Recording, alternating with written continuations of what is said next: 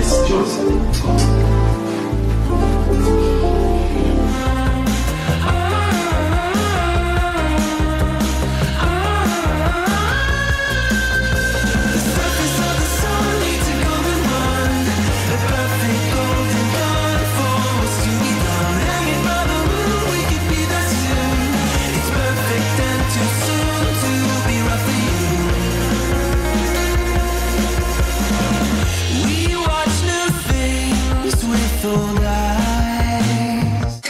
I just bought my mum and dad a house.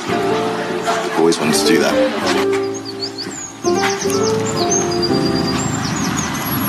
Okay, so, Dad, welcome. Thank you. We're gonna have your interview in a bit.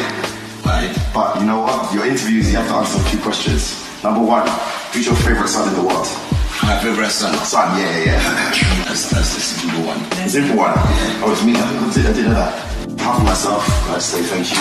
Anyway, for everything that done. And uh, I decided to, uh, you know, do a secret project for a few months. And I'm here to tell you, there's no interview. That was a lie. This is your house. I'm presenting to you. This is your new house. It belongs to you. So we wanted to present the house to you today. So round of applause.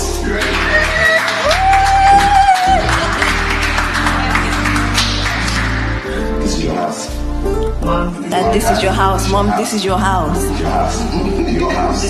There's no lies. This is your house. This is your We've been planning this for four, five months. It's not bad. It's not small, small token, but I just thought it's best that you live in an environment and a place where you're happy, and you have space and privacy.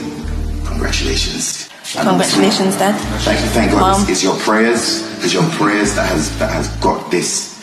It's your prayers because the skill and the ability that I've received has been from your prayers, and I cannot ignore what God has used my parents to do in my life. And this is just my physical appreciation, honestly, from the bottom of my heart.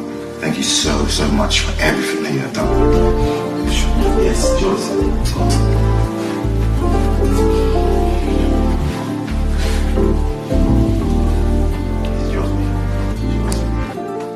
As your parents get older, you know, they become your babies. They're curious every day about who you are as a person. I can tell that my parents are like very much aware of the limited time a human being has on this planet and they're really trying as much as possible just to communicate.